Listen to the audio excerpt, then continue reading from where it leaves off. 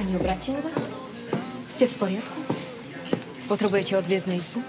Nie, to nebude nutné, ja tu na niekoho čakám. Na manžela. Áno, ale nie na toho svojho. A na koho? Na tvojho predsa. Dobrý deň, pani Obrátilová. Dobrý deň.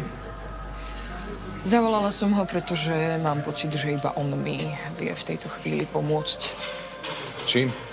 S podnetom na úrad pre dohľad nad zdravotnou starostlivosťou. Na Hanu, pochopiteľne. Ty môžeš za to, že mi zomrelo dieťa a že ma opustil muž a teraz budeš trpieť viac ako ja.